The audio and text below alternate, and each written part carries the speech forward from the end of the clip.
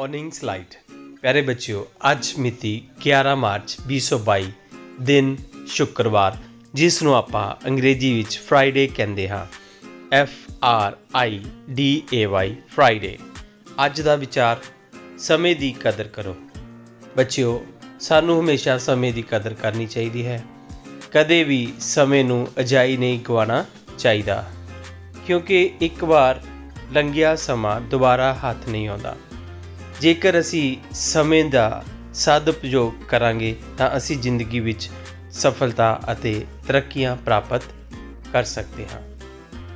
ਆਓ ਕਰਦੇ ਹਾਂ ਗਿਆਨ ਵਿਗਿਆਨ।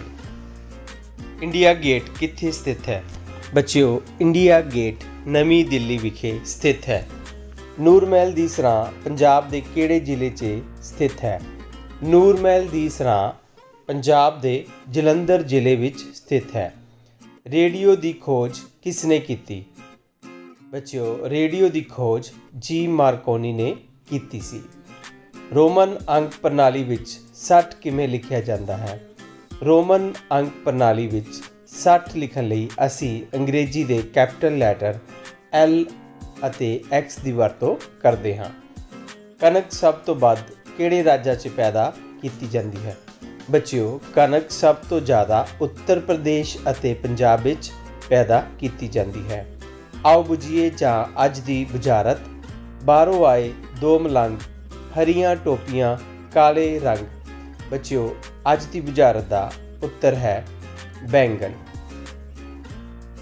ਆਓ ਕਰਦੇ ਹਾਂ words for practice first word is straight S T R A I G H T, straight straight mean siddha second word is blackboard B L A C K B O A R D blackboard blackboard means blackboard third word is classroom C L A double S R double O M classroom classroom means jamaat da kamra fourth word is learners L E A R N E R S learners learners means ਖਿਆਰਥੀ ਜਾਂ ਵਿਦਿਆਰਥੀ fifth word is sequence S E Q U E N C E sequence sequence means ਕ੍ਰਮ thanks for watching